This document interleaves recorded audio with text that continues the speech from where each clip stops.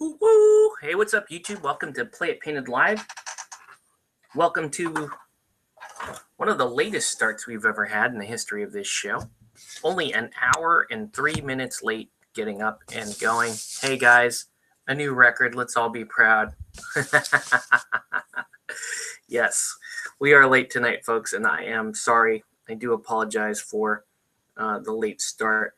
Uh, you know, summer is almost over, and uh, it's kind of thrown a monkey wrench in pretty much all the plans I've made.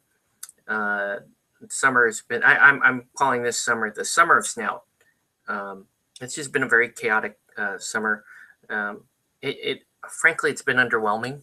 Uh, and there's a few reasons for that. You know, personal, uh, some personal, some other. Um, wait a minute, what am I talking about? They're all they're all kind of personal. Uh, but yeah, so uh, anyway, I'm in the middle of going something off camera right now, and I need to do that before I continue here. Uh, so this program is going to be rather botched together. Uh, so it, it I can apologize for that too, but uh, you know that's just that's just the nature of the beast tonight. That's kind of a a recurring theme. Once again, calling it the summer of snout now, for those of you who don't know, I tend to use the term snout uh, to indicate kind of the leftover bits. You know, Dave Chappelle used a joke about you know, using the snout of the pig, using whatever you have left over to kind of make do.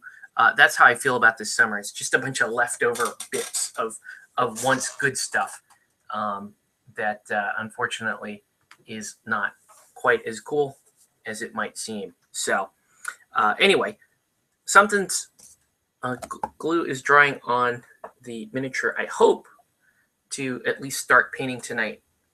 Um, but uh, in the meantime, I'm gonna get you guys caught up on the uh, the warband here that I've been building for Saga. So this is the Crusader warband here, kind of sliding past your screen. Um, I was building these uh, uh, the other week, and you can see I did uh, I did some priming. I did some zenithal priming, and then I did uh, I did the only I only blocked out one color on each of these miniatures. Now the one color is made up of actually several colors, but it's the the one color to block out. It's one of the common colors amongst all models in this warband. So let me kind of zoom around here. There we go. Give you guys a little bit something better here to look at. So here's one of the models, for example, and you can see there's a kind of a lighting gradient here on the shield. It's because I'm going with a, a warm, uh, I'm kind of going with a, a warm off-white uh, as part of the scheme. Uh, the other color is is going to be a like a blue color. Well, I'm not 100% sure on that. I mean, this is this white here, just so you know, is kind of that um, same color that they they tend to use on a lot of the Crusader um, color schemes, like for example, um, Templars. You know, uh, uh, Templar models will have that red cross over kind of an off-white there, and then you'll have um, uh, you may use uh, purple as the offset color. That's a common one. Red is a common one. Even some blue. I think I'm going to go blue uh, or black. I'm going to go blue, probably as the offset here. But here's here's where I'm at with these miniatures and uh, there's quite a few of them. But the reason why I, I blocked out the white instead of um, say the blue is because that's just kind of the the easier way to do this. If you're uh, blocking out with an airbrush, you should block out. My, my general approach is to block out the the lightest color in your color scheme um, because it's harder to go the other way. In other words, if I had blocked out the blue on these models, uh, if I were to come back in with the whites and try to you know shade and highlight the whites, um, I'd have a difficult time. Uh, first of all, covering the blue, and then transitioning gets a little ugly. Whereas with a blue, you know, there's a lot of uh, ways I can I can work a blue into the color scheme. I can uh, uh, I can start off with the dark blue and just highlight my way up. I can start off with a, a light blue, shade it, re-highlight it, um, and they're, they're, those blues will all pretty much cover pretty well over this uh, off-white. So that's where they are. I'm not going to do any work on these guys tonight because it would be super boring for you guys to watch. Uh, the next step on them actually isn't the isn't to do the blue. It's actually to do all the uh, skin and faces, and that's pretty tedious work. So, uh, you know, that's that's a lot of sitting down, painting in a bunch of eyeballs, and then painting in a bunch of uh, a bunch of flesh here. Getting some messages here. Let me find out what those are. Okay. That has nothing to do with the feed, but that's okay. Uh, I'm just going to keep going. And uh, it might be a short feed tonight, guys, mainly because I had to start an hour late. Um, I really don't know what to do at this point. I mean, uh, hopefully the summer's ending pretty soon. That might mean that my my wife and son are forced to uh, adopt a more regular and predictable pattern of being awake or not. I, I think it will. It might take a couple of weeks after school has begun to get them back on some sort of a regular schedule. Unfortunately for me, I have to work five days a week all year long, so I'm always uh, on this schedule. So, anyway, I'm going to get these models off the painting field here, and I'm going to show you what I'm going to work on tonight. Uh, it's going to be this model here. This is the, there you go. This is the Twilight Knight, the limited edition Twilight Knight uh, promo figure for Wrath of Kings. I did put her on a different base because I want to do something a little fancier with her. So let's get started on this miniature. Uh, and I do have to do just a little bit of airbrushing, but this should go pretty quick. I'm going to kick on the compressor here. It's actually kind of good since uh, nobody is on right now. Uh, nobody's watching live right now, so it's fine. Uh, so yeah, it's guys. It this summer has been summer snout. Um, it hasn't been like a tragic summer for me. It's just been kind of a disappointment. Uh, you know, there's been a number of uh, renovations that had to occur uh, in our home, and as part of that, oh shoot, I have to think. I want a shield on this. Actually, I'm going to paint her without the shield. I'm going to paint her without the shield. I'll worry about the shield later.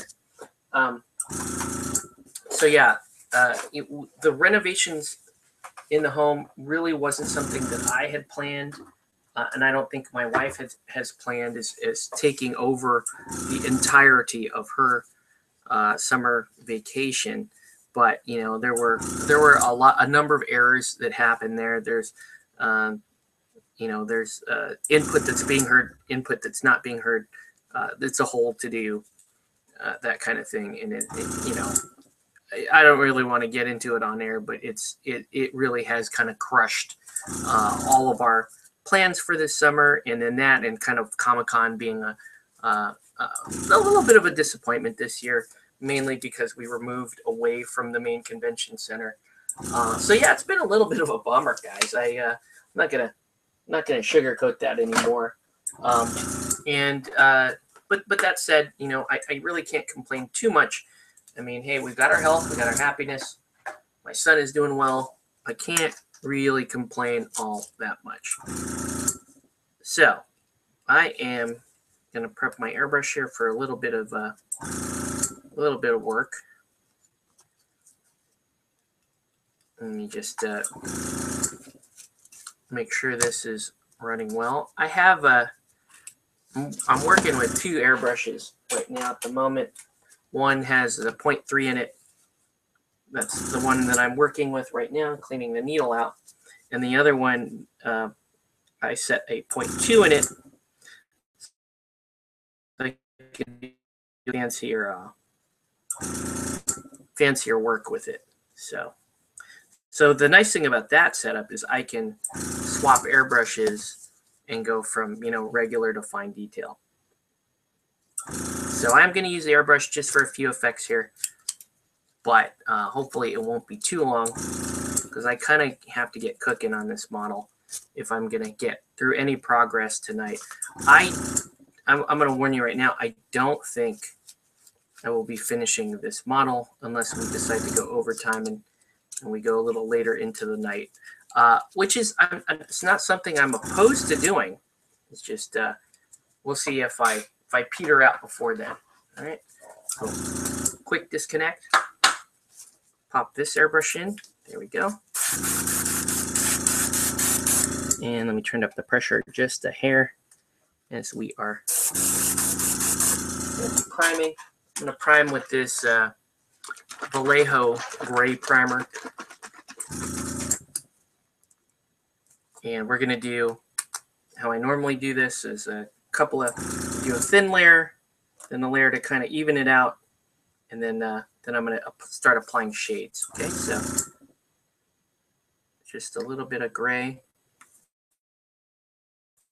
You get the ball rolling here. Uh, if you are tuning in right now, welcome to Play It Painted Live. Let us know what you're painting or what you should be painting. Again, this is the limited edition Twilight Knight from Wrath of Kings. And I am already fairly impressed with this miniature. Uh, that right there, uh, it's not so great. See that? Don't like that line there. I'm gonna have to do something like that. Let's pause for a minute here. Let me let me see what I can do about that really fast. If I can get it to kind of smooth out here. Yeah, I was worried about that. That didn't uh, that transition. I I didn't like that it's cut right there in the middle of the basically the middle of that tabard. But uh, I don't have much of a choice here. I'm gonna put on a little little bit of plastic putty just so that you don't have a visible crack there. Okay.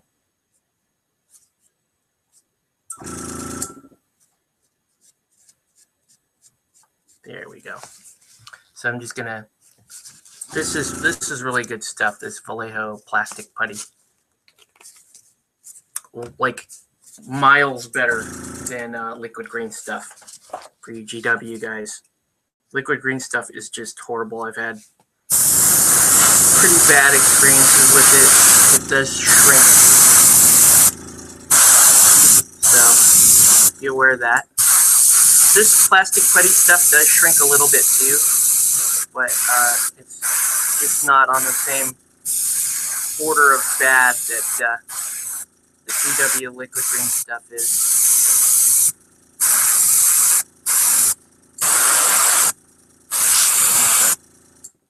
Prime the base here.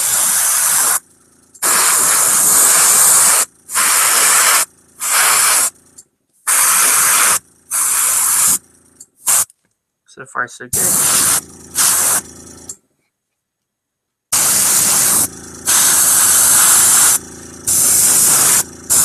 And we can lay a little bit more primer on there. Smooth out what I've done.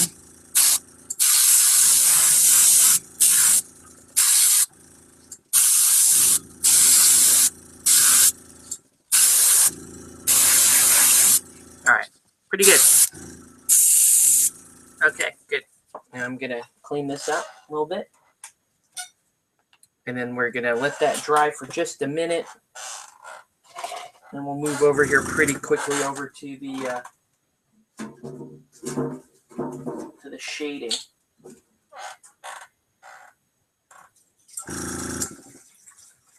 Just need a little more, a little more alcohol here to clean out.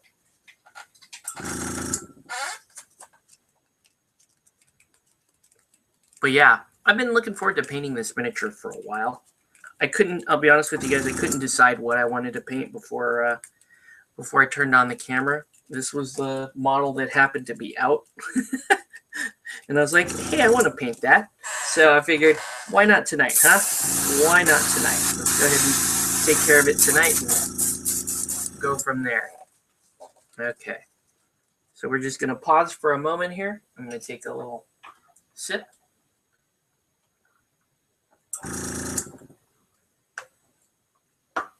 Once again, welcome to Play It Painted Live. Let us know what you're painting, what you should be painting.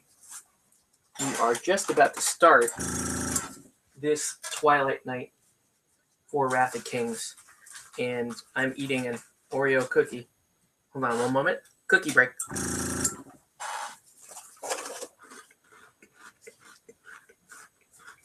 All right.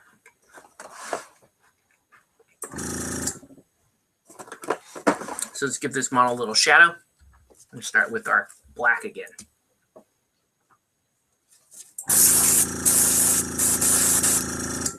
So black, gray, and then we're going to do, I'm actually going to show you a little bit of the Templar screen, uh, not the Templar, the Crusader color scheme as a consequence of this model scheme. So you're going to be very similar. Um, I already have a Twilight Knight that's kind of painted to the studio art from the Hell Dorado collection. And even the uh, one is also very similar. I'm just, I'm just running a little bit of air over the model right now. Help that primer dry. And here we go. There comes the black. Coming in as a shade over the model.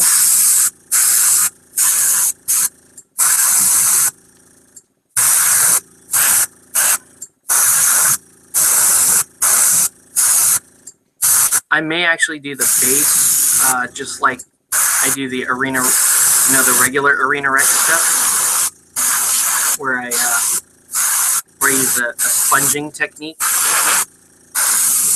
and then I'll, I'll use a uh, a gloss over it to make it look like she's standing on marble. Let me do that just because she's so cool looking.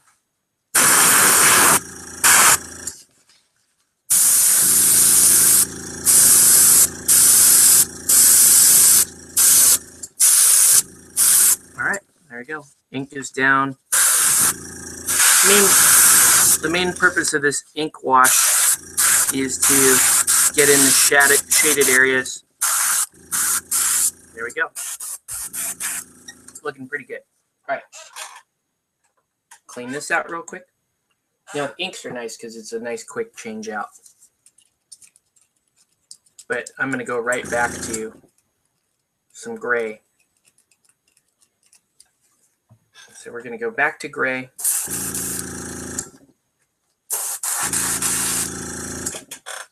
We're just going to keep rocking it on this model. Okay.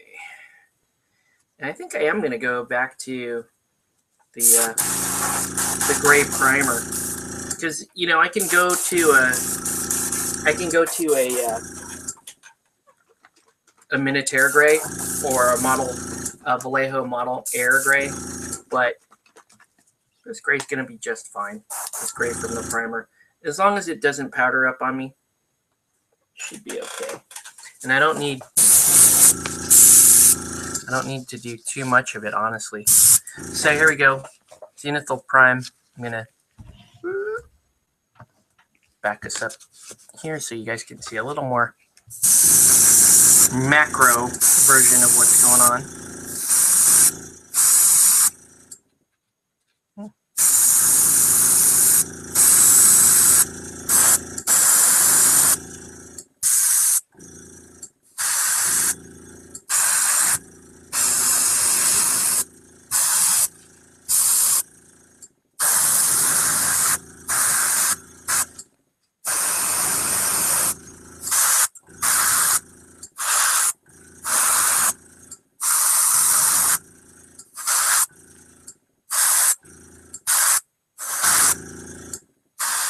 So Vallejo's gray is pretty white. Such that if you spray it in place like that, you can see it almost looks like white primer. So you can get you can get some decent like lighting effects out of it. Just like that. Me show you on this side. Just let it build a little bit, see? You can do do all your your pre-shading and pre-highlighting.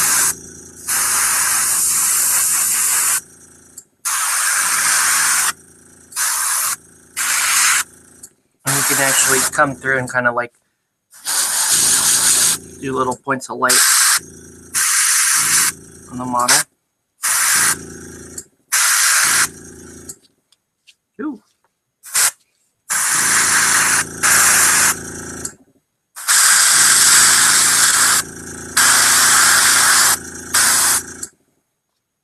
So you see how the, the black ink really just kind of gave me a little bit of shadow. Nothing nothing too serious here.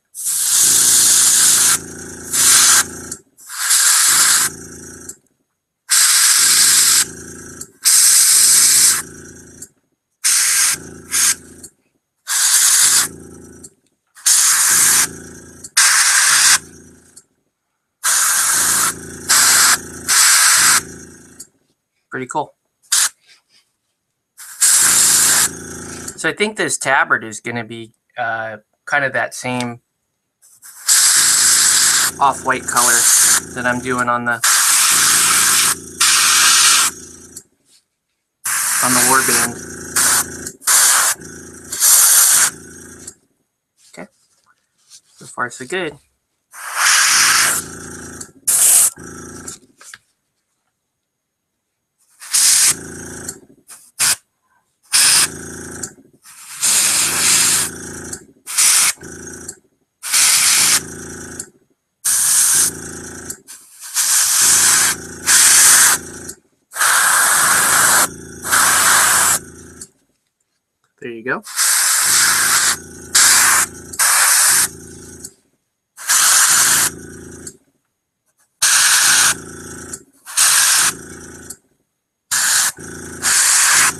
Grayscale version of the mini.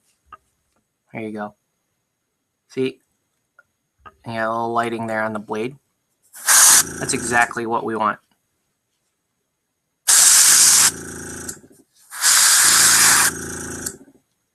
Okay, cool.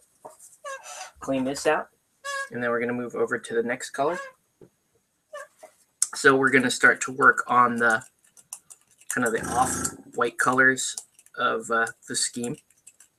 So I'm going to start with uh, kind of a beige color, and then work my way towards a bone color. And while I'm thinking about it, I'll probably do, yeah, on the armor and the non-metallics, I'll do kind of a steel color. So we're going to do Ancient Bone, Snow White, and I need something a little bit darker than Ancient Bone. Maybe Mummy. Maybe even like Desolated Beach. That might be that's not too bad. M probably mummy. Let me find mummy.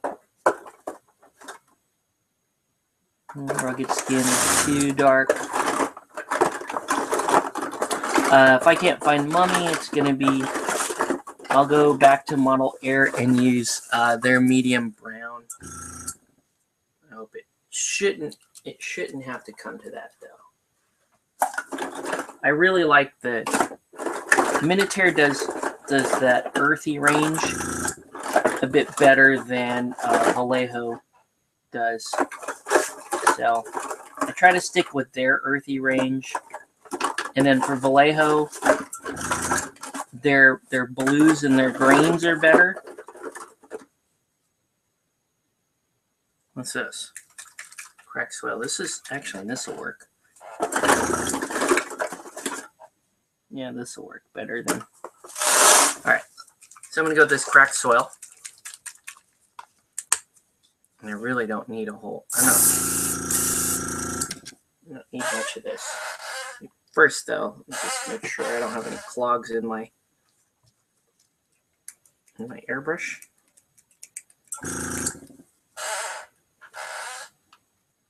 If you're just joining us, welcome to Play It Painted Live. Let us know what you're painting, what you should be painting gonna be a quiet night tonight.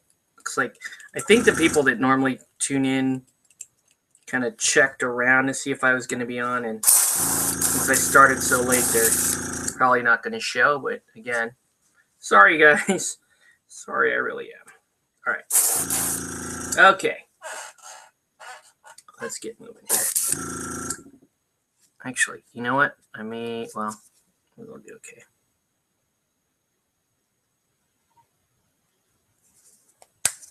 So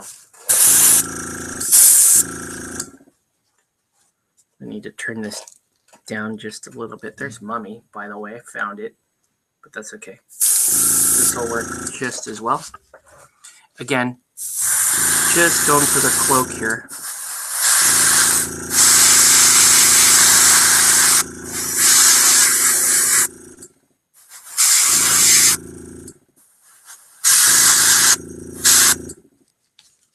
The cloak and some of this work in between.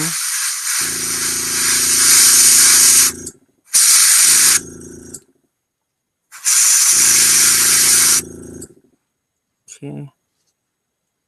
Uh, looks pretty good.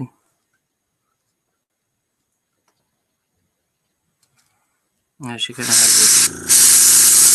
She kind of has that like Templar style color to her. Let's get that going.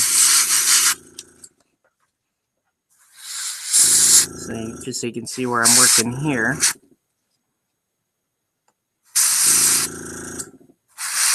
It's actually pretty good skin based color even so I don't even mind if I'm over a little bit.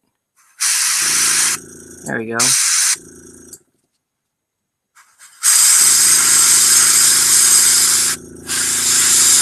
Because it doesn't really harm, it's not really going to harm the skin on the model.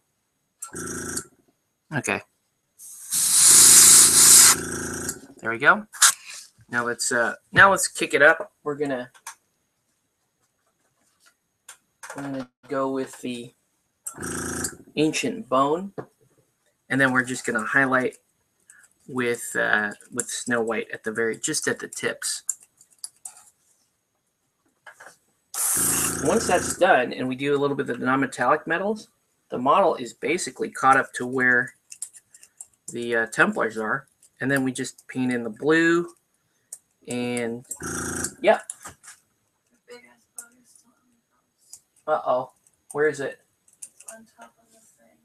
What's the thing? The big, what? Okay. Okay. All right. Well, I'm gonna have to pause here. Uh, get rid of a, a katydid. I, I am sorry, guys, about this. So, uh, yeah, I'm sorry. If you're watching this on on a recording, um, you might want to fast forward a couple of minutes. Okay. So, be right back. Again, I really apologize. It's just not our night to do the live stream. It's just really bad. So, okay. Here we go. Okay. Anyways, we'll let that we'll let that dry. I'll be right back. Again, I apologize.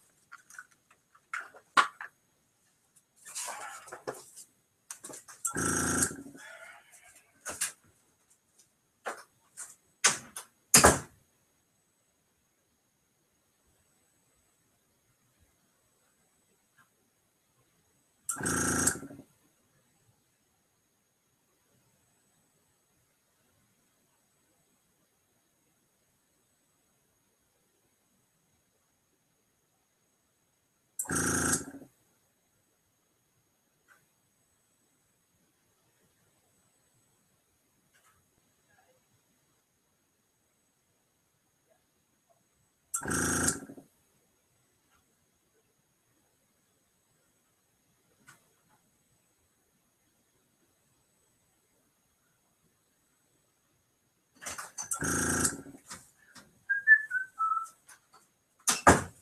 Okay. Let's get back to it. All right, had to get rid of a katydid. Flew into the house and kind of scaring my wife and annoying the cats. The katydid I call the Carl Weathers of nature shows.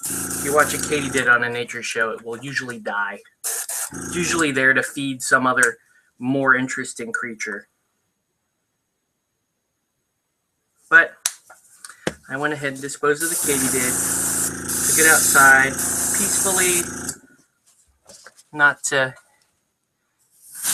did not do no katydids were harmed in the filming of tonight's live stream. Okay, so now I'm coming in with the bone white. And the idea here, just like any other highlight, is I'm trying to highlight the model without losing without losing all of the uh, the undercolor, that rugged skin or whatever it is. Forgot what color that was. But this this bone white is really the base color. This is going to be this is most of the model. Is this bone white?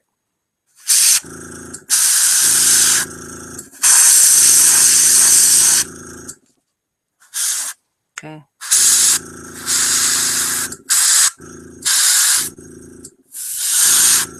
Okay. Not bad. Okay. So now uh, the only thing left to do. Hold on. Let me give it another. Let me give it another layer.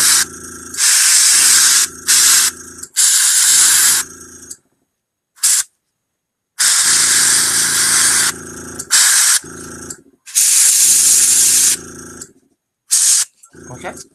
So now, another thing left to do is to hit it with the Snow White. And then that's going to pretty much do it for the airbrush portion of this model. And we can move on to the actual painting. There's not going to be a whole lot of painting to do once we do the, the face and the flesh. But as you guys know, that does take up a significant portion of the brush painting at least how I handle it. So, right. And then we've got uh, we've got some non-metallic stuff to do. We'll probably do uh, like I was saying, blue is the offset color. So the model will be mostly that this kind of bone white and blue. Should look, should look pretty cool also have to decide what color hair is going to be. Uh, so, know, her her hair is white. You know, in most of the artwork, white, whitish gray. So I'm probably going to stick with that. All right. So last color to go down, Miss Snow White. and I'm just gonna do just gonna do fine work. Whoa, maybe not so fine work on the model.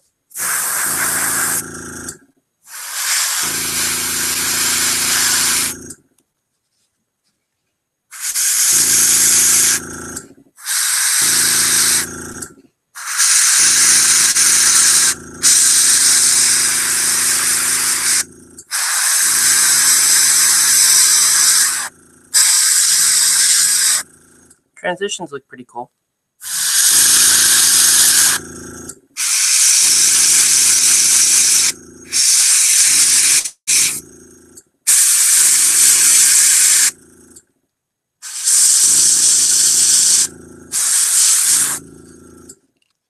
Okay.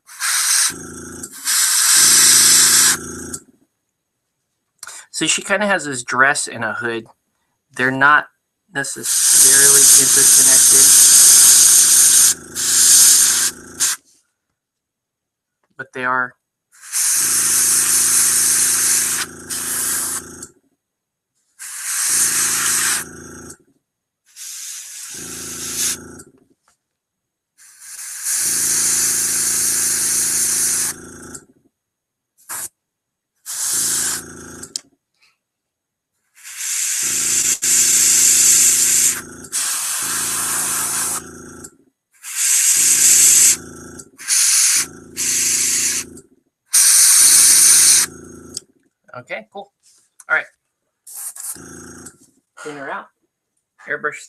Is done.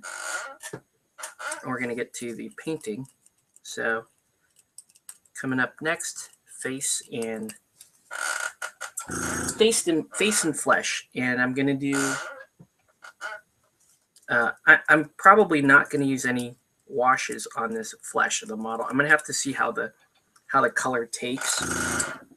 Uh, this is kind of a this is kind of a, a, a, flexible resin that they're using. You know, it's a rest. I don't want to call it restic because it's definitely not as poor as the restic stuff that you will find in, um, you know, some of the other lines.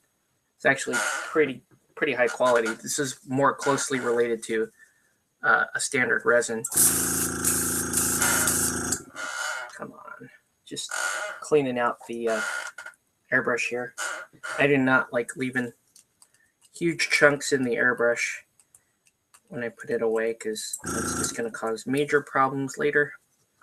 So if I can take care of it now while the last layer is drying on that model, I will. So here we go. There we go. Okay, looking pretty good. All right. Let's shut this down. And I'm going to have to get some more rinse water. I will be right back again. Sorry for the delay.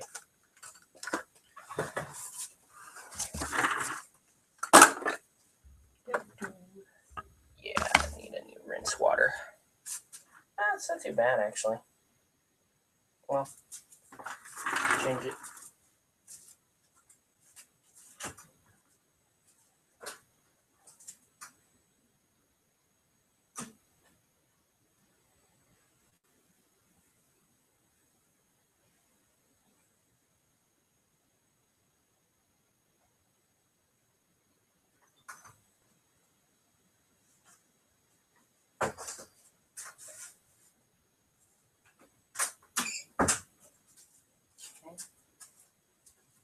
All right.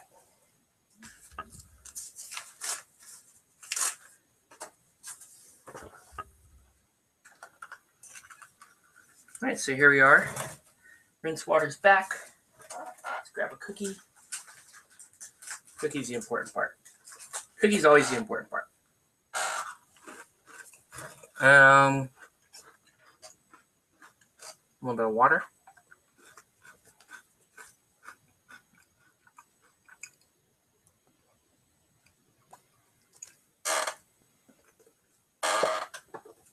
All right, let's paint it.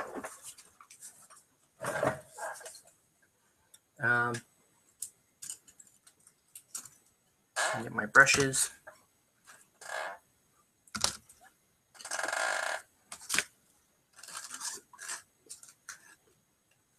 No, that's it. No brushes. To, a couple brushes to mix paint. That's what you do with your old brushes. This is what I do with my old brushes. Is I use them to uh, to mix up colors, to mix water with the paint. All right. So let's start with eyes. Black and white.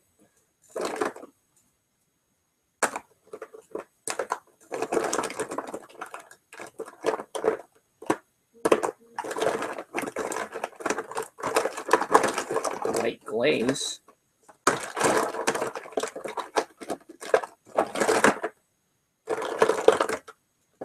Not rocking a lot of white here. Does remind me, I do need to go back and restock my white. It's okay. It's okay. All right. That's not the white that I want.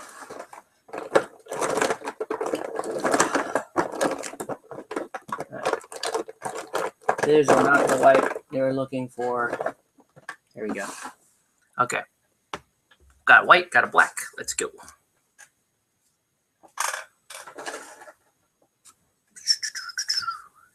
So tonight's topic is um, uh. It's uh, there's not a whole lot to discuss here because I talk about Hell Dorado a lot on this channel. Um, the only thing I really wanted to bring up tonight with Hell Dorado is the fact that I still really, really enjoy Hell Dorado.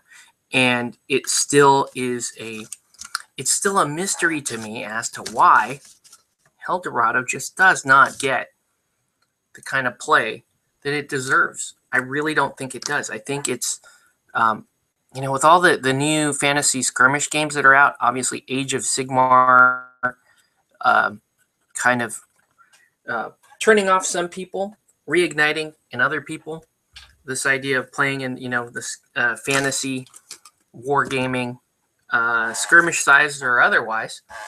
Uh, and for me, it's like, well, you know, I tried uh, Wrath of Kings, and I st- actually still need to give that game a little more time before I feel like I'm I'm at peace with with where it is and with where my opinion of it is. Uh, but you know, Wrath of Kings and Hordes and um, some of the other, uh, I guess, fantasy based. And I know Hordes isn't quite a fantasy based skirmish game, but you know what I mean. It still has monsters and that kind of stuff. Um, within that genre, I looked and when when Hell Dorado when they announced that Anima was kind of being discontinued, and that made me super sad. Um, and that put Hell Dorado kind of in people in doubt. Uh, it, it, it, cast some some doubt over Hell Dorado with uh, with some of its fans, myself included. Um, I started to look around and and I wanted to see what else I could find in terms of a fantasy war game. And frankly, I still haven't found one that I enjoy as much as Hell Dorado. You know, I I didn't think Wrath of Kings would be up to the bill because it's just Wrath of Kings is is a more streamlined game. Wrath of Kings does what it does really well, which is, you know, it gets you it gets you that type of uh, hordes level uh, model count game and scales up and down pretty well in terms of going from a skirmish game to a full-blown war game and actually does that part really well and it manages time so what i'm saying is wrath of kings has plenty of stuff going for it. But in terms of that, eh, I'm going to call Hell Dorado a one hour fantasy skirmish experience. If you compare your one hour fantasy skirmish game experience of Hell Dorado with any of these games out there, Age of Sigmar, um, you know, Dark Age, uh, in, in Wrath of Kings, kind of being the closest in those realms. Uh, I'm sure I'm forgetting a bunch, but those are the three that come to mind right now. They don't stack up. They just don't. They don't stack up to to what Hell Dorado does as a system. As a system, on its own merit, Hell Dorado, to me, is still the best game in that genre. It's still it still gives you that experience within an hour of just an incredible, fun, challenging, tactical war game experience. Not not to mention thematics. The thematics for Hell Dorado are, are clearly off the chart. The miniatures are superior quality. I'm gonna, I'm gonna pull this in closer here. They're superior quality miniatures. Um, I mean, what what more do you want? Hell Dorado is a game that was ahead of its time when it came out, and in a lot of ways is still ahead of its time now. And I I I have a lot of frustration with Hell Dorado. I, I still carry a lot of frustration with that game because I really believe in my heart of hearts that that is just such a better game than so many of these other games out there that are still around that are that are still being actively supported that still have um,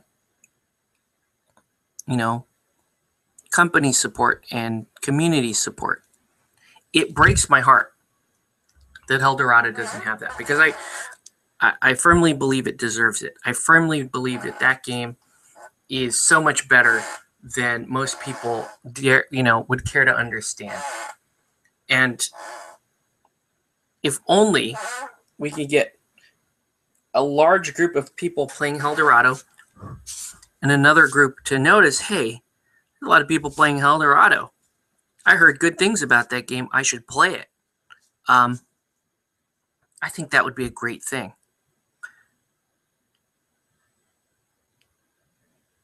Now, the cool thing about one of the other cool things I really love about Hell Dorado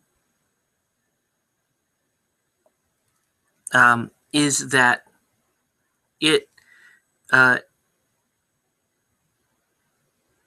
it's a Ninja Division game, so you can you know you can use miniatures from the other Cypher line or from the Soda Pop line, and you can kind of intermix and intermingle between those lines.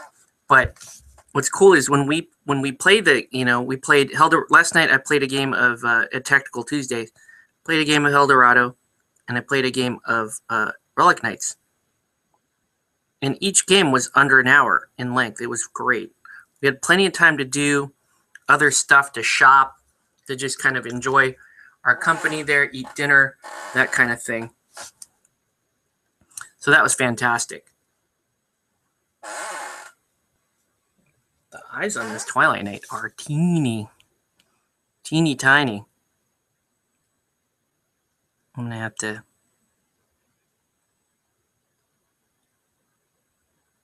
close that one off like that. There you go. So, see big boxes I painted there for the eyes. And you can just barely make them out. All right. I need a just a little more clarity in the the right eye.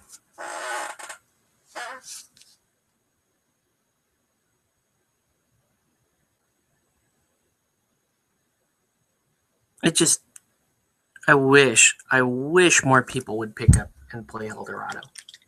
It is such a great game, and I'm glad that uh, you know locally uh, some of the guys have kind of are have taken upon themselves to try to revive the game. It is that good, in my opinion. It is worth it is worth trying to bring back.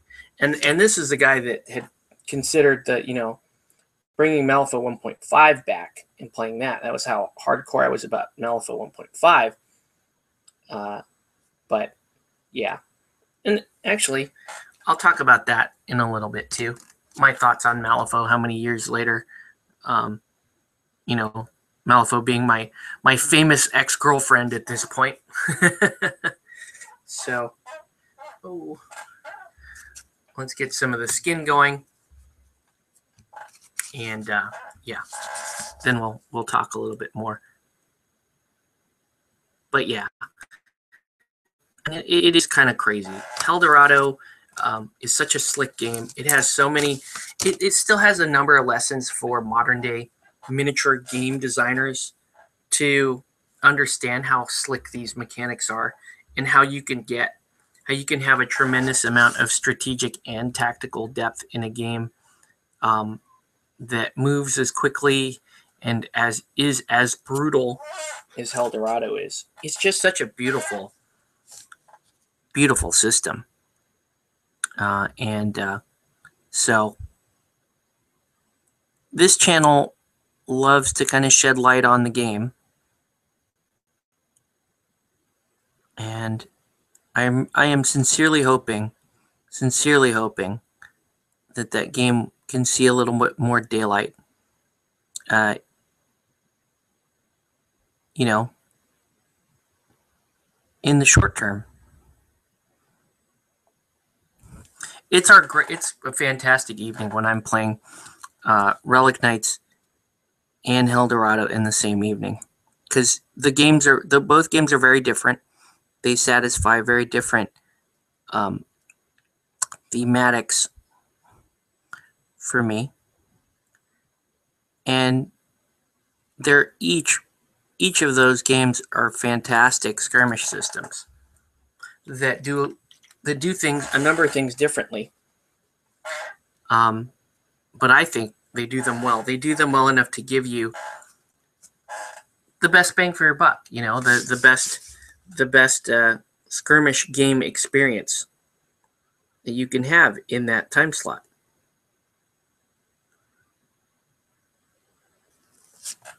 Hell Dorado also is just convenient for your life. I mean, it's a low model count game. It uses it's played on a 30 by 30 mat, which means you can actually play it on a standard, um, you know, standard folding table, and you only need one table. Most of these other games uh, that you that play on a three by three or a four by four or a four by six will require you to extend the top of your table either by uh, placing either by placing another table up against it. That's the way most people do it. Or you could do like a table topper. Or you could do like a, you know, you could do like tablescape tiles to kind of just extend the the depth of your table. Hell Dorado was fantastic. I, I was bringing Hell Dorado to board game night because it, it takes up about the same amount of space as a board game. And, you know, you play two players and you you break out a little bit of terrain and you're and you're, you know, eight to ten models per side and you're done.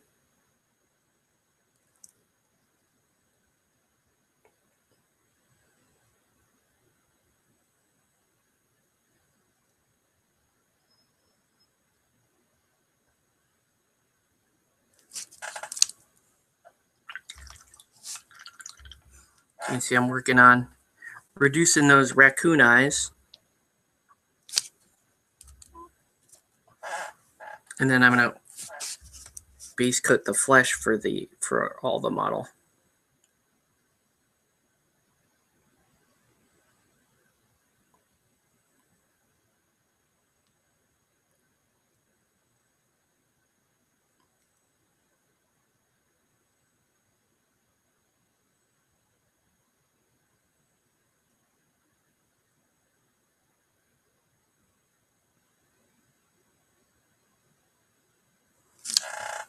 Pretty cool.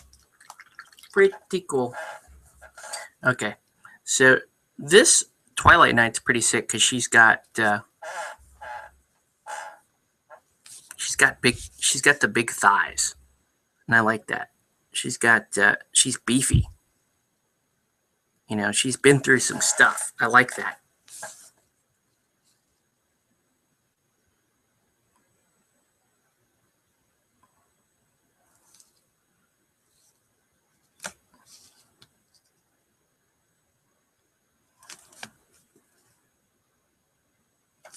An exposed shoulder? I'll never know. I just don't, I'm not getting a good enough. Is that an exposed shoulder or not an exposed shoulder? It's very hard to say. I'm going to say it is an exposed shoulder. I'm going to paint it that way.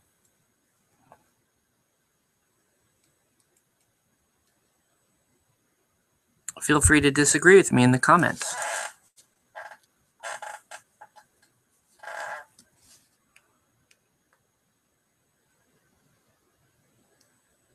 Yeah, it goes like this. There you go. Uh, obviously, this is this side is covered up.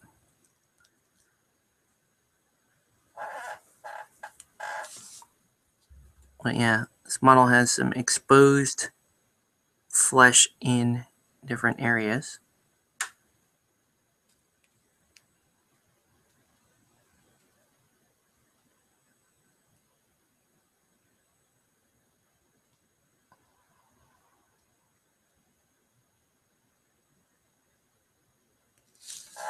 Okay.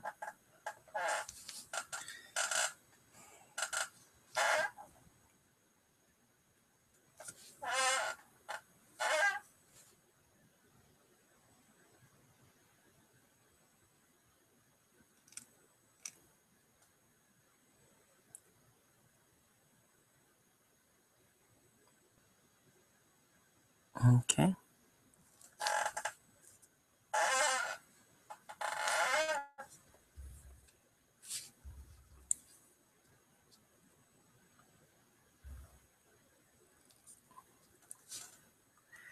And I'm gonna paint down in here.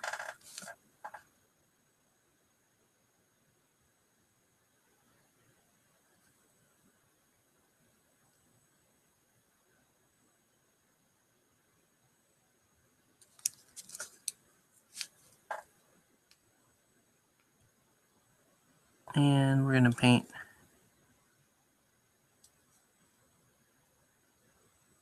a couple other spots that are supposed to be flesh colored. It kind of has these like hobo gloves.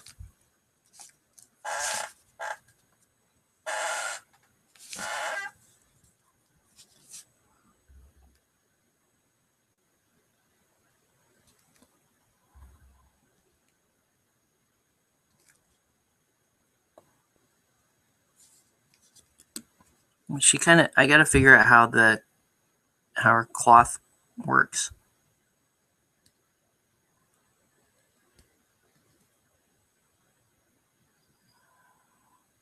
I feel that that cheek is a little drafty there.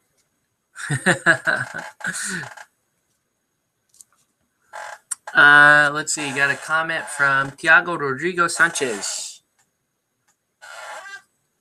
Buenas noches, Tudomen. Convi- I, I don't. Sorry, I don't. I only speak English. I'm a.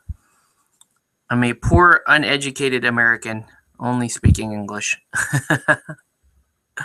I, I it sounds like something is uh you know good evening but i don't know uh, if you do speak english awesome uh, either way thank you for tuning into this show let me know if you have any questions or anything i'm actually painting this uh, twilight Knight from wrath of kings but we're actually talking about Hell Dorado tonight and how how i'm i'm just accusing everybody of missing the bus on that game. It really is that good of a game, in my opinion. In my opinion, I, you know, take that for what it's worth.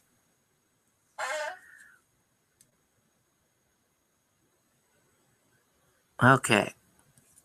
So pretty good, right? Let's see if I can actually.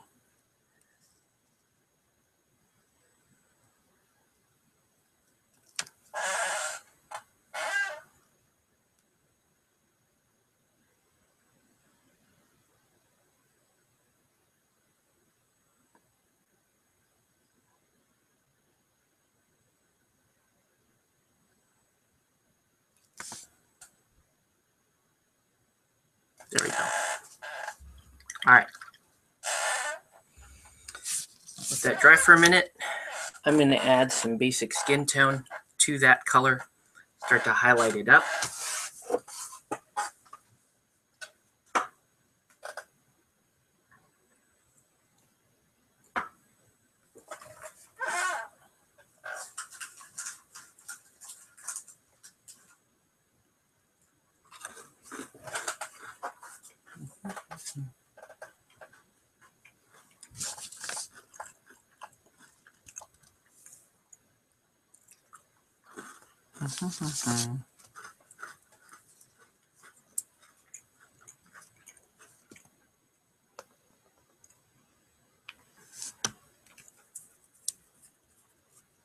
A little too much basic skin tone.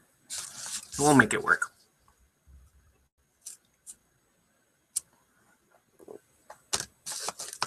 Right? Got him. It's got to work.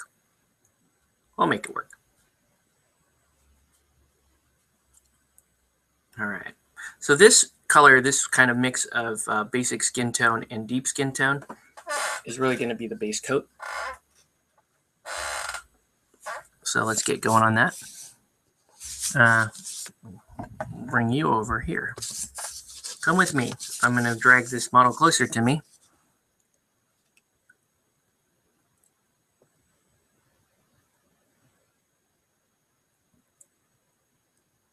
So this is going to be most of the skin color of the model.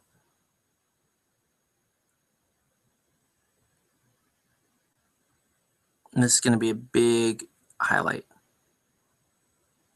Okay, so most of the model will be this. I should say most of the flesh.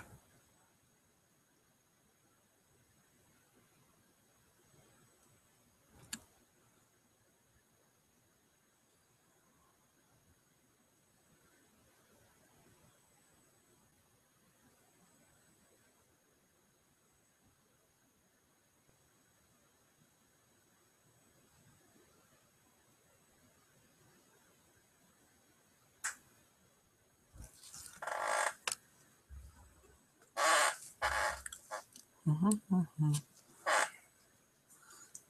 All right. And here, obviously, whoa. But yeah, majority of the booby top.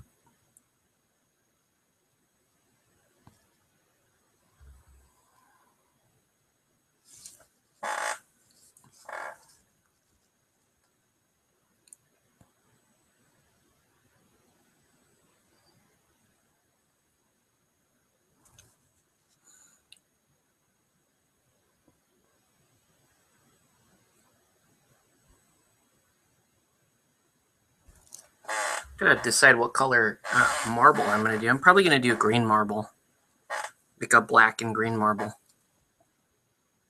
I think that would look cool.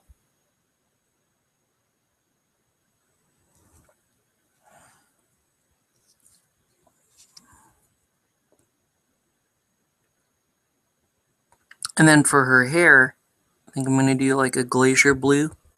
Like I'll probably base coat the hair azure and then highlight up with uh, glacier blue and then uh, white at the very tip. So she has kind of bluish white hair.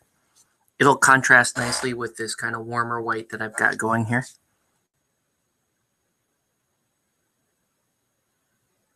And it should also look pretty cool with the uh, with the blue accent color of the model.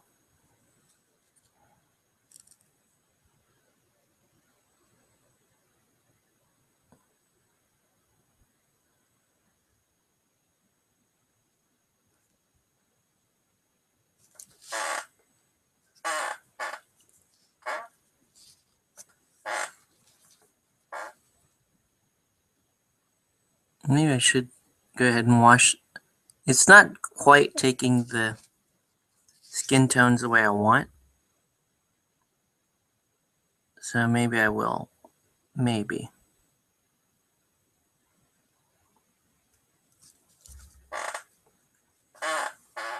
Just give it a little more unifying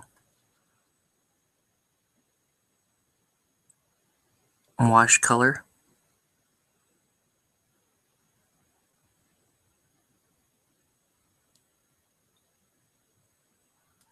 Funny thing about washes is sometimes, depending on how you do them, the skin looks phenomenal with the skin wash, and sometimes looks terrible with the skin wash.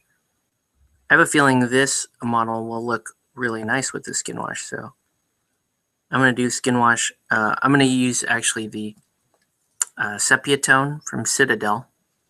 It's one of my go-to uh, flesh wash colors.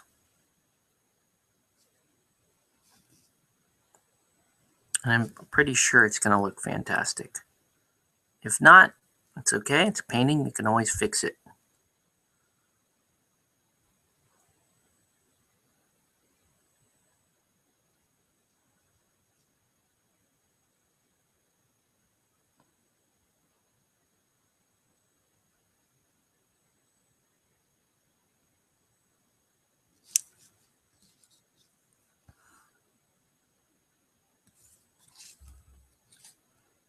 Pretty good. Twilight Knights. Uh,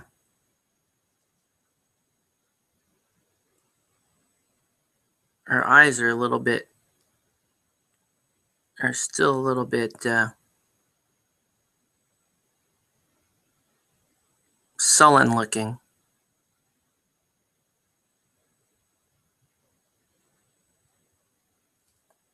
It's not the end of the world though.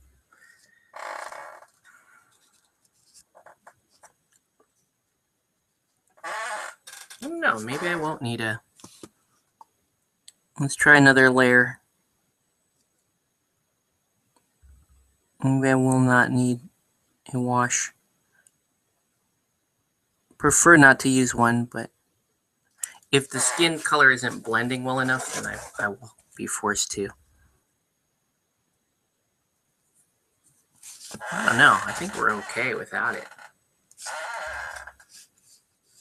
I think we have the level of subtle that we want.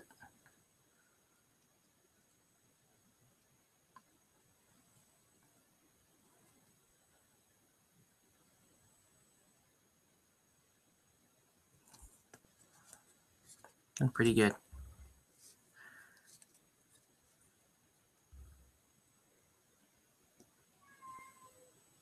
And hear my cat crying out there. Poor kitty. Okay. Let's do um, a little more basic skin tone.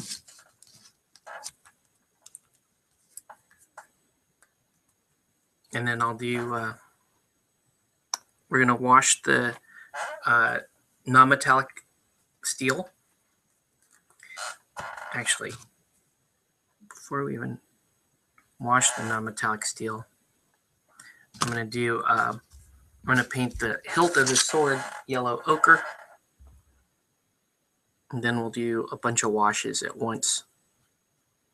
And we can work on hair while the washes are drying. Make sense? Cool.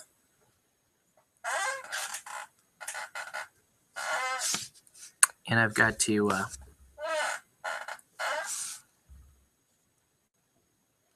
get to mount the model. Okay, so now this is a lot more basic skin tone into our original mix.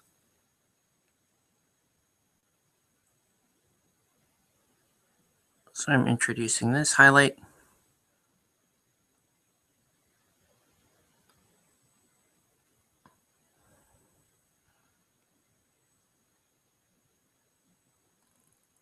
And this is going to act more like a true highlight in that the goal isn't to get all of the model. The goal is actually just to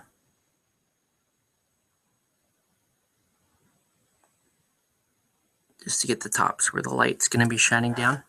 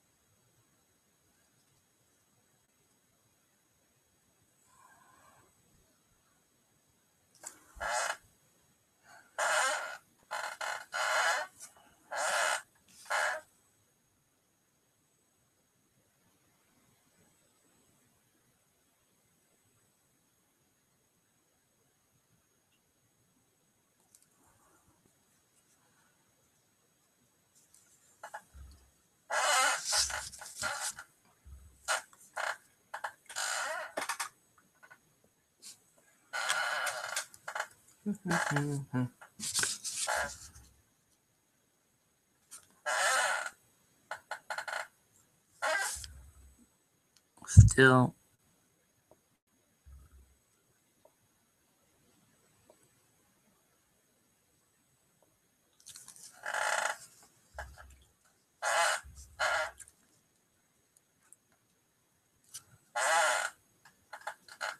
Okay.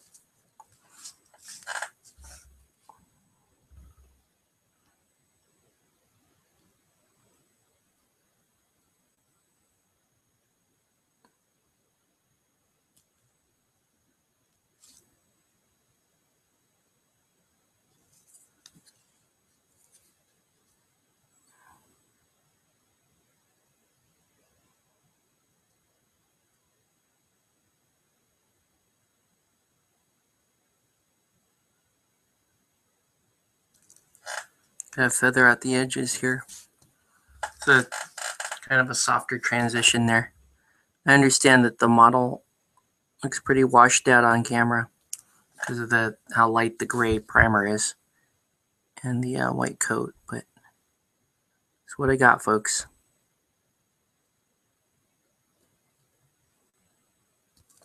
Okay.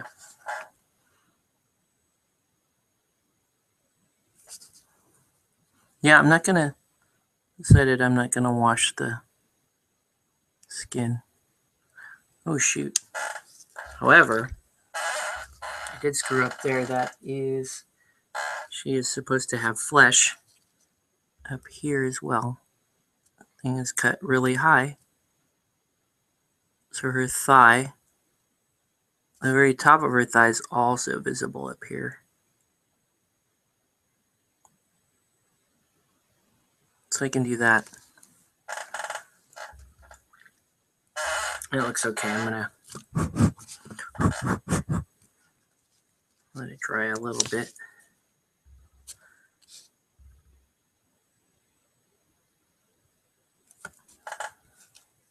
Luckily, it's in a patch of shade, so I don't have to highlight it up too much. It looks okay, though. Let's let that dry a bit. and let's do the last uh, the last skin highlight, which is just pure basic skin tone.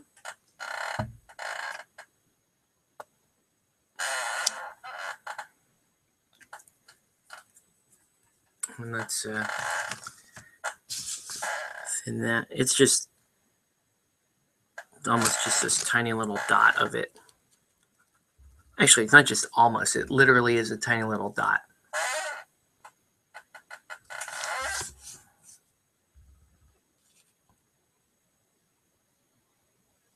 Because it's only going to show up on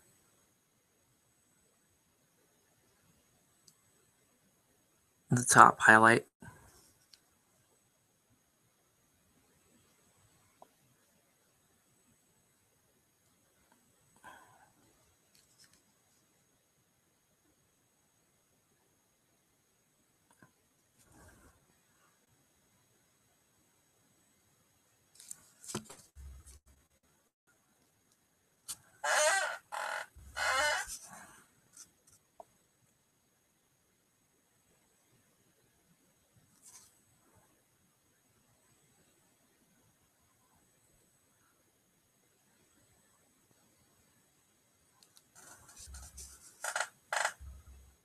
Skin's looking pretty good.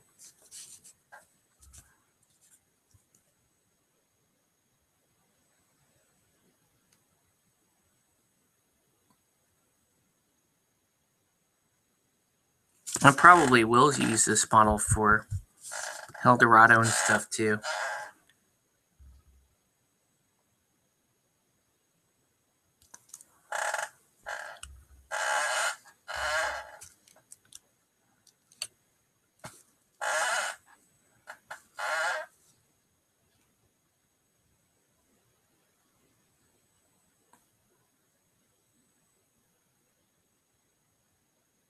So this last layer is going on, not like just a glaze would. Just a very, very light application. And you just let it build a couple layers.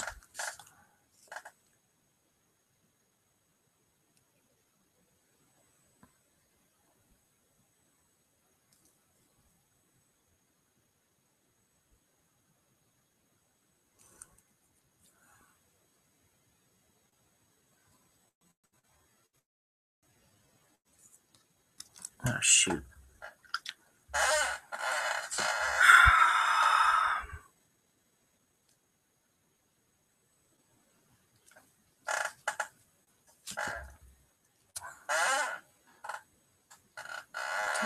There we go.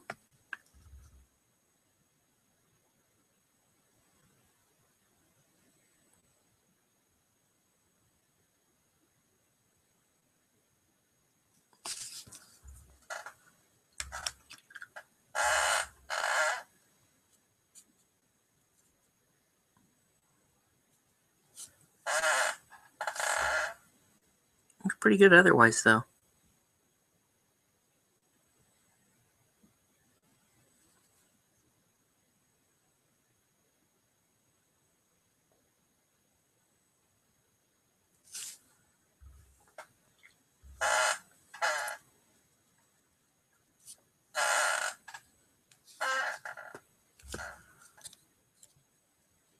Getting this thigh right is pretty important for the miniature.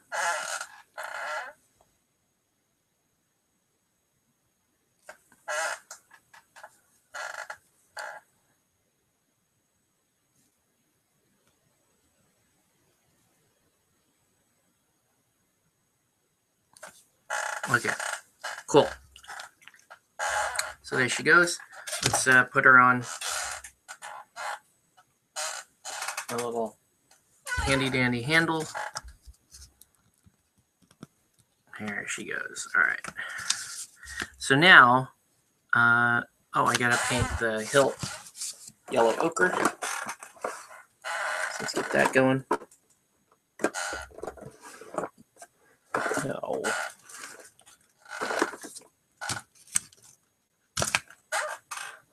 Yellow ochre.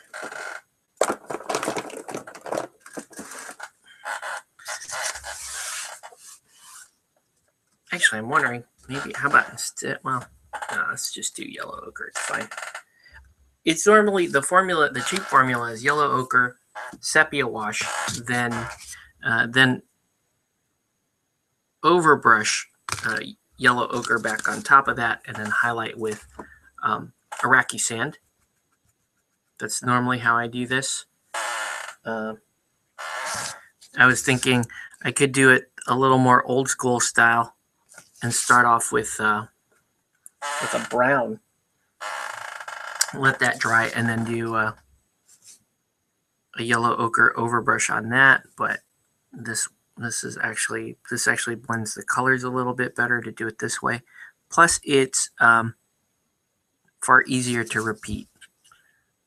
It's just one of those known formulas. You know, when you when you painted a lot of models and you run across the same color dozens, if not hundreds of times, you derive different ways to get at that desired color.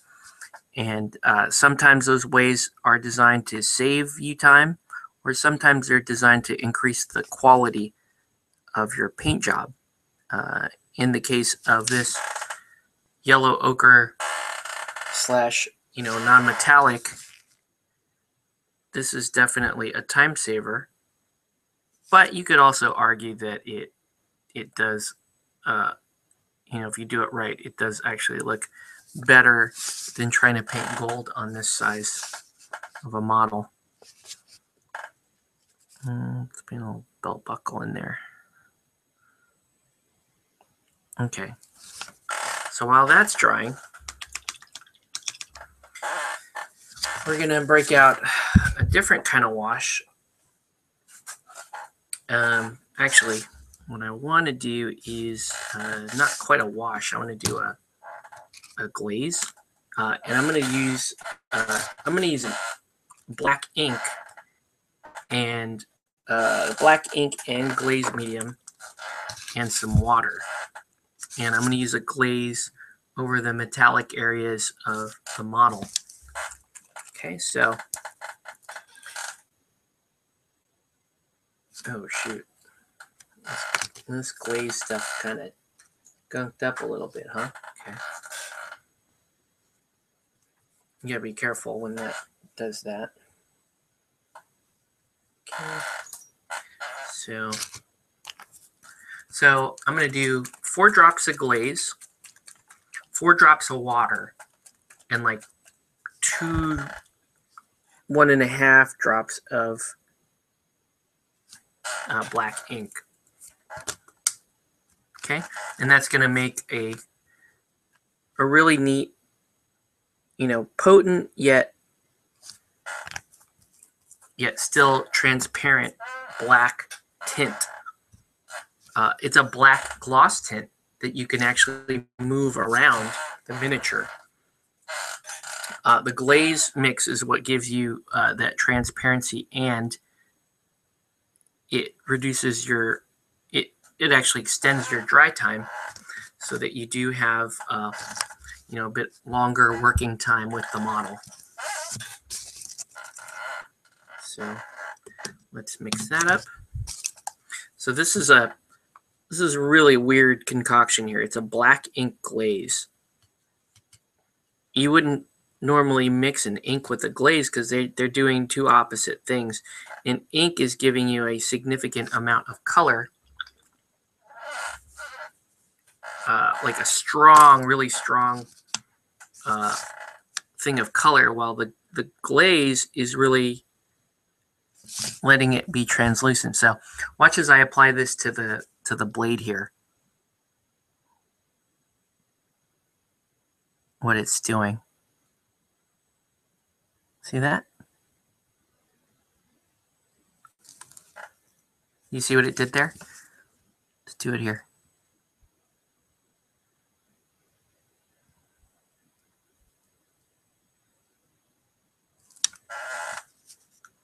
Got it?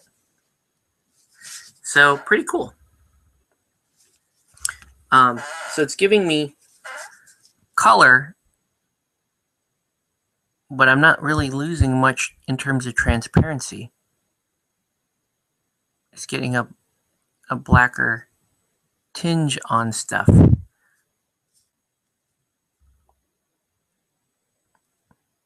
So there's a black tinge there. This armor cup will be black also.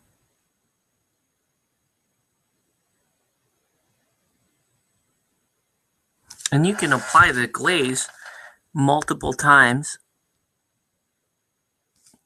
to get you the exact color you want.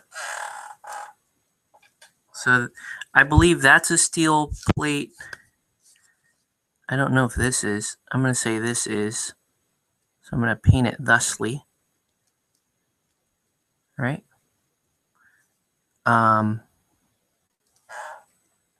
this looks like this is cloth dragged over the shoulder here. So I'm going to leave that alone. But then you have armor plates here.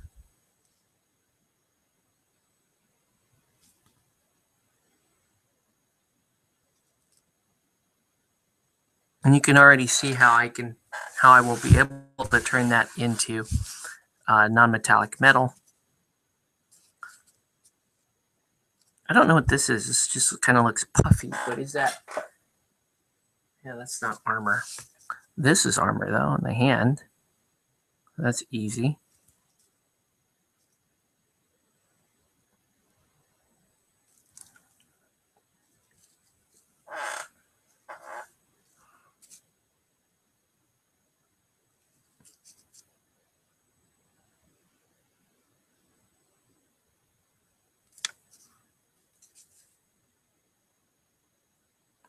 And you can go even go like can carry the glaze over to darker areas. Like if you wanted to do something like that on the blade.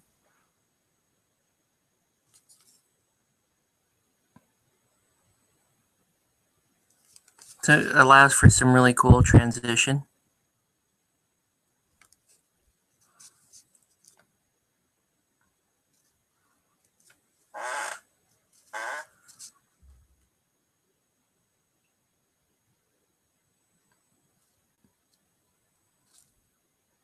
This is kind of cool. There's these like little, the knee pads are these little, almost looks like arrows, like a D-pad.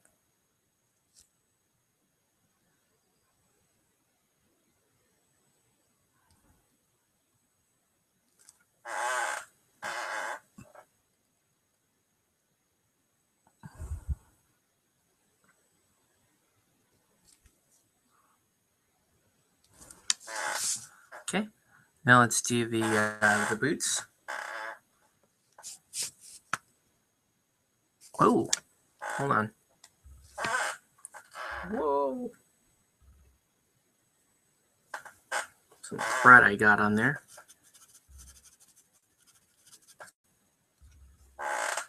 When you're working with glazes this thin, make sure that you dab off all the extra water that you can.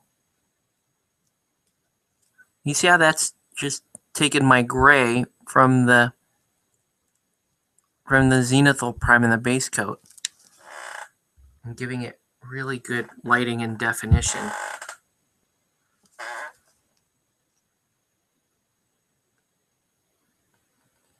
It's giving the model really good depth.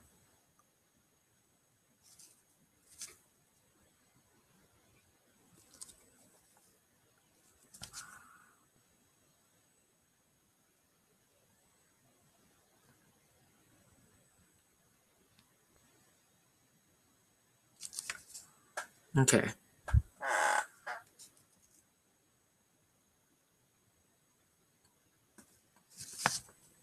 That's actually a little bit of flesh back there that I missed. So I'm gonna let me let me just paint that. Paint that up real quick. It's not gonna take much. Just get a little base coat back there.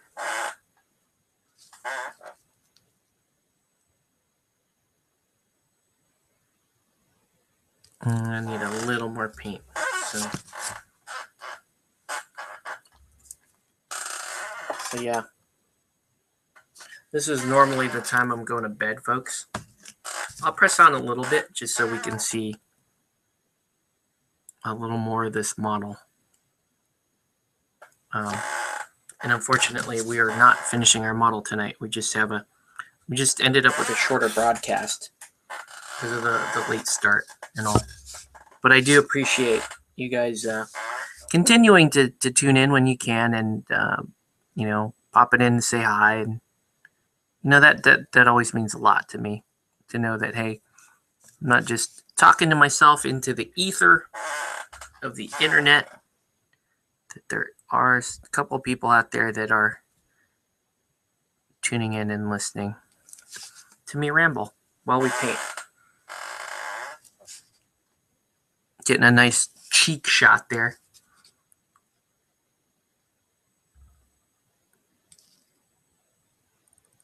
Oh, shoot. Sometimes the model,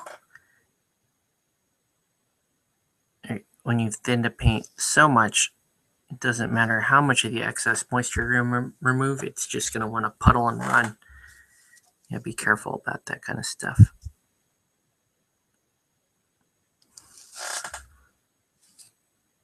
Okay. What do you think? Looking pretty good, huh? Okay, let's work on hair, just so we can. Uh, oh, before we work on hair, though, let's do our quick sepia wash over the gold, or the burnished gold. Um,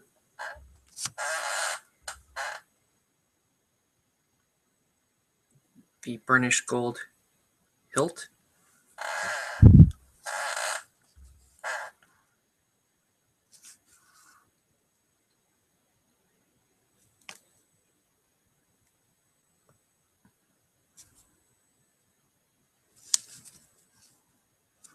You can see that that immediately gives it a nice burnished look. And it actually dries down pretty well too. And while that's drying down, we're going to work on the hair. Okay. It's looking pretty good, man. It's looking pretty sharp. I might do a. Oh, wait. Did I? Hold on. That's right. No, I got that right. Okay. Sometimes the, folds and stuff on a, a, model are ambiguous, and so you're wondering, like, is that plate? Did I get that right? Did I not get that right? Uh, anyway, let's work on here. All right. So, like I said, we're gonna do uh, we're gonna do azure as one of the colors. Uh, I'm, I'm half tempted to do something crazy like start with electric blue and work my way up. It would give the model some crazy highlight, but it's it's a little too wild, so I'm gonna go with Azure as the. Actually, I don't even need to go with Azure as the base. I could go with. Uh, uh, could go like way dark, like something like that as the base. That's not bad. It might be a little too blue. Well, it's a little too anime. Screw it. Azure it is. Damn it, Octave, make up your mind. Okay. Yeah, we're going to go Azure's the base. Then we're going to go up to Glacier Blue and then a little bit of white.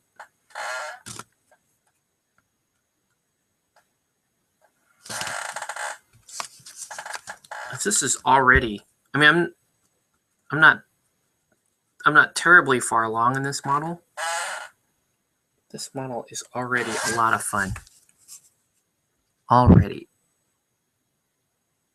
Now, I like Azure because for a color this light, it actually covers pretty well. And it's it's much more versatile than you might give it credit for when you first see it. Uh, you can use Azure for warm whites. You can use it for grays. You can use it for ice. You can use it for jeans. If you ever do blue jeans on a model, which I've done before, uh, this is one of the colors that I would recommend always trying to keep around because you never know. You, I, I always end up using it somewhere on a model. I mean, I could even make a glaze of it and glaze the sword in certain parts to give the sword a little more a little more cool factor. Speaking of which, I'm having an issue here. I need to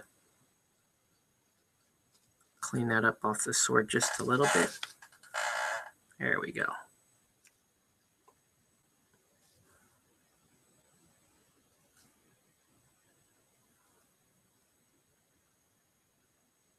There we go. Okay. And you can see the, that's the Azure going down.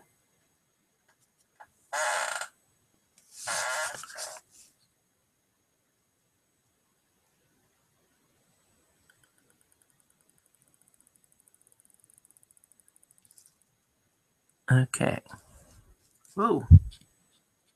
Don't do it. Don't do it. Okay. So with the Azure drawing hair, move on to um, the blue. Okay. There's not going to be a lot of blue on this miniature. Well, I have two. There's. I don't want to do the main cloak is blue. I kind of want it to, to keep it that uh, Templar white because I don't really want it to. I, I don't want it to contrast with the Azure I just put down. Um, so I'm going to do blue on the sleeves. I'm going to do blue on the sleeves, and I'm going to do it here on the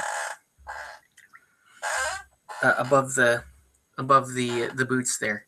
Okay, so uh, you have to just pick the undercoat blue which is going to be this uh, Mediterranean blue.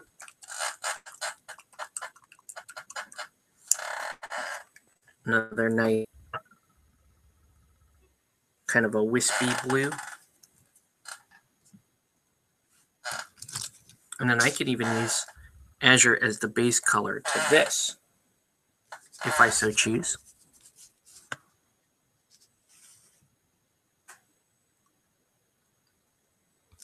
It's actually really nice blue.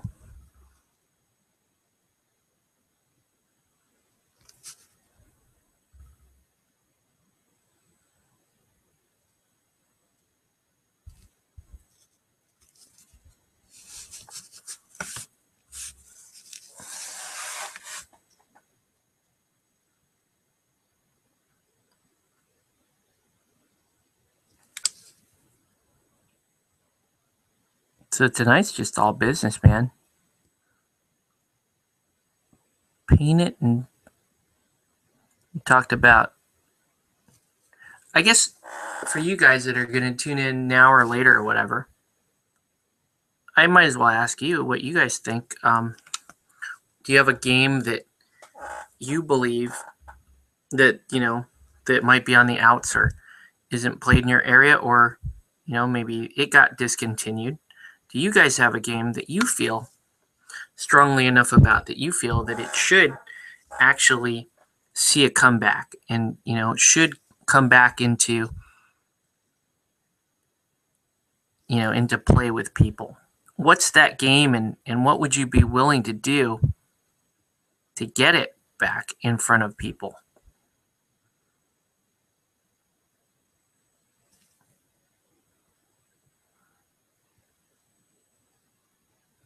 for me it's going to be this game and for what i would do to get it back in front of people i don't know i mean i've done a lot to kind of push this game uh, a lot in the past uh, but I, I think I'd be willing to do it again. You know, if I if I felt there was another shot at it, I would. Uh, you know, I would shoot more Hell Dorado videos. I want to do some Hell Dorado uh, battle reports. Um, and I'd run some open, like organized play locally if I felt there was a, a chance at it.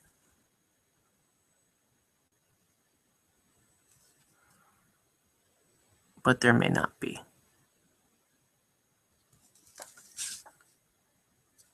Poor Eldorado. I love Eldorado so much. It really does deserve a better share than it's gotten so far.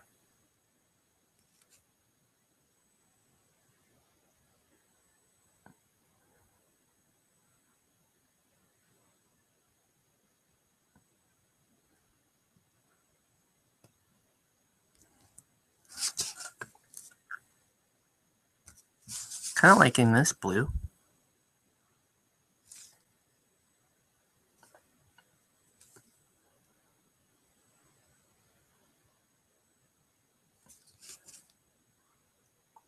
She has this that studded garter too. I have to decide what to do there. If I'm going to do brown, do it brown or blue. I'll probably do brown just to introduce a third color here.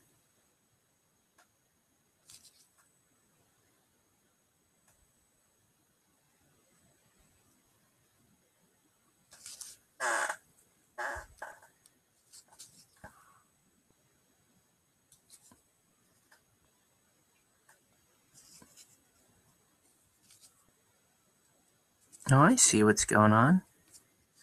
So there's that's kind of a plate that goes all the way across, huh? And that's also a bit of armor there.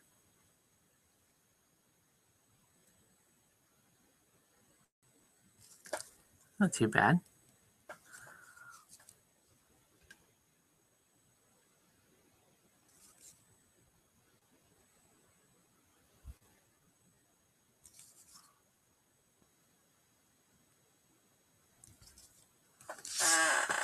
Okay. Let's break out that uh,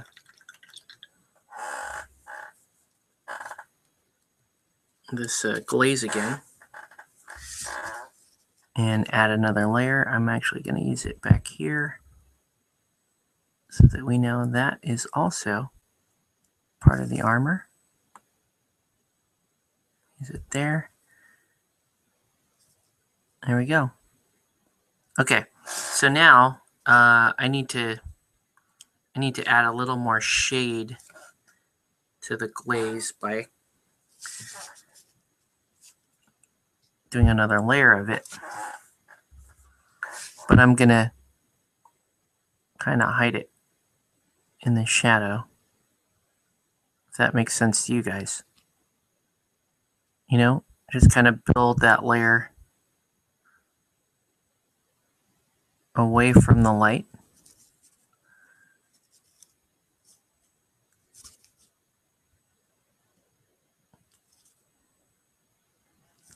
So now you're starting to see where I'm going with the the shadow.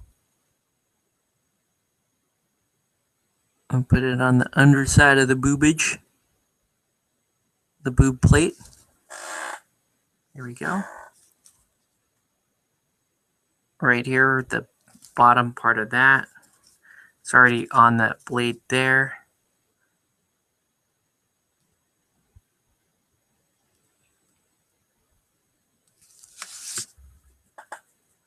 All right. Pretty cool so far. Let's uh, highlight our burnished gold.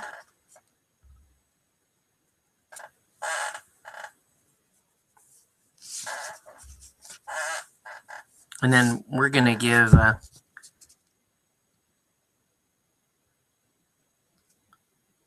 kind of need to do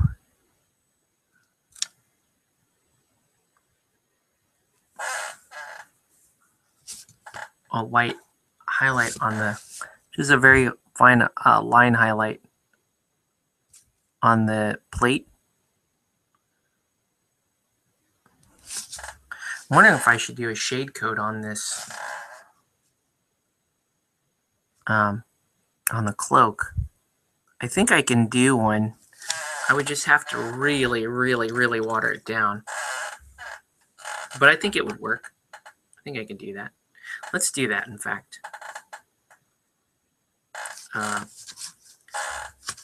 so, but before we do that, I want to do uh, do a little bit of brown. Yeah, make a little belt. Paint the the belt in. Because there, there's just a couple little straps on the miniature. She's looking pretty good though. Looking pretty good.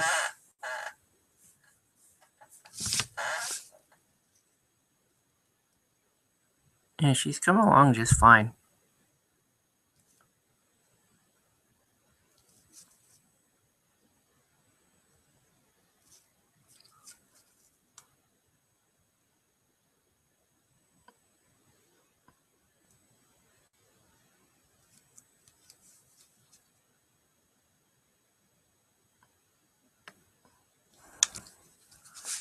There's one strap.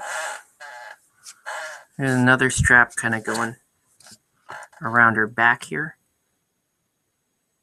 So right there, a strap. And then there's this strap here across the arm. There we go. Okay, looking pretty good. You know, still, oh,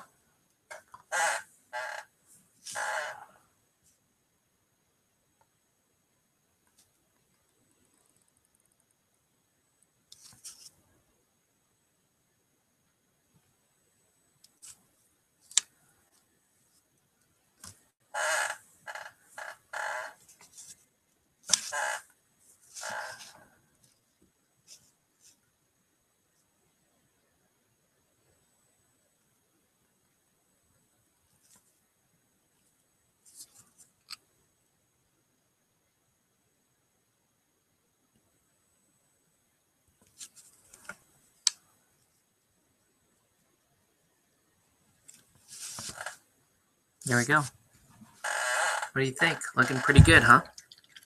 Not too bad. Not too bad, not too bad. Okay. Uh now let's do let's make a a, a really thin wash. I'm gonna thin down this uh, Seraphim Sepia really thin and run it over the cloak with the intent of uh, just getting a le- just the slightest amount of shadow onto the cloak. I don't, what I don't want to do is I don't want to, you know, tint the cloak too much. So I'm going to put a little bit of this wash here. And add some water to it.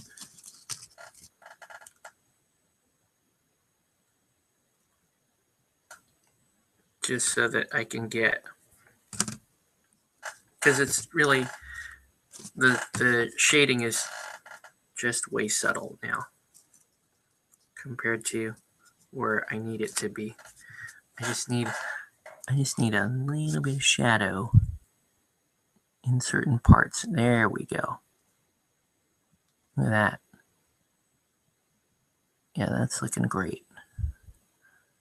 That is exactly what I was hoping for. Right? And I can move it. That's what I like about about this. There we go. So it doesn't look like I've just completely smothered it in wash. I've actually carefully washed the cloak and then just let the let the product the the uh, shade react where it's going to shade.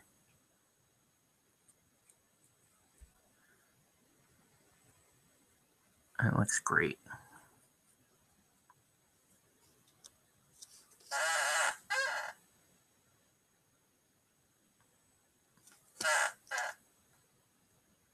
And then when this dries, it really, really shouldn't see too much of it. Let's see. Okay. Uh, and now we're going to go with this Glacier Blue. Highlight the hair.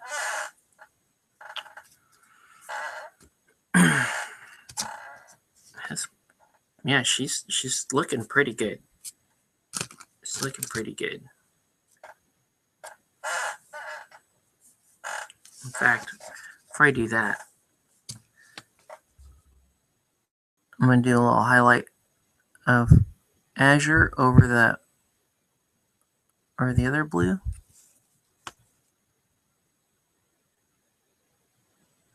So Azure over the Mediterranean blue.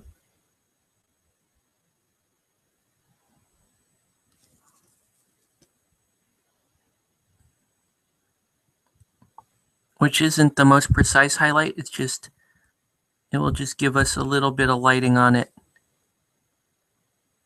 Looks okay. Okay.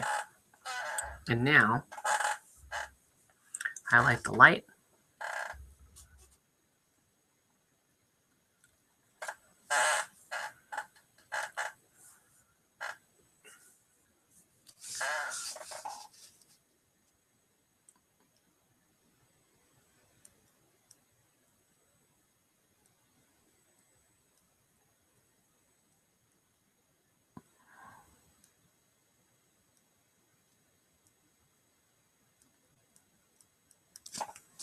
There we go. See, it's like really, really. Should probably line this up so you guys can see. That's her. On camera, it looks like she just has raccoon eyes.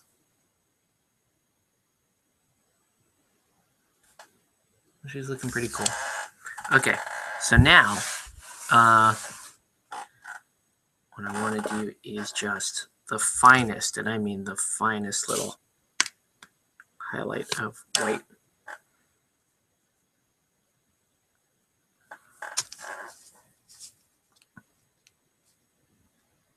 With the armor.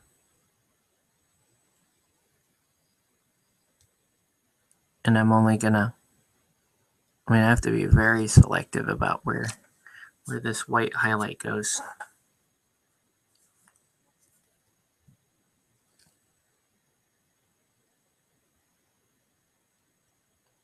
We're just talking basically hard ridges of the armor.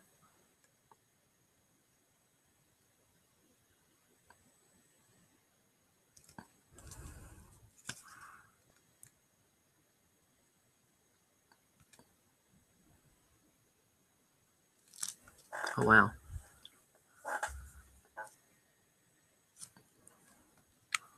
Oops. There we go.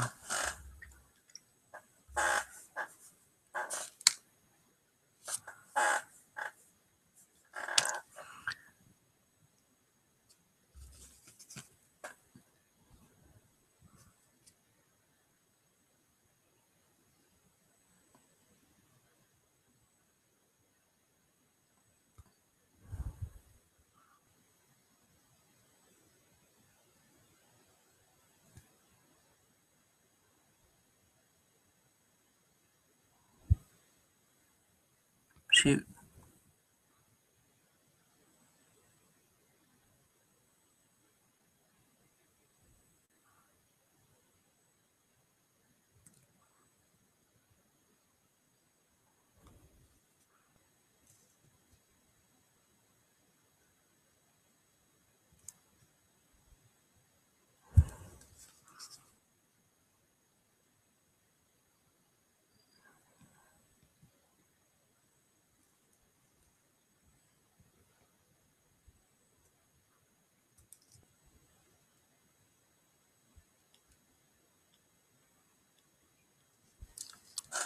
What do you think? Okay.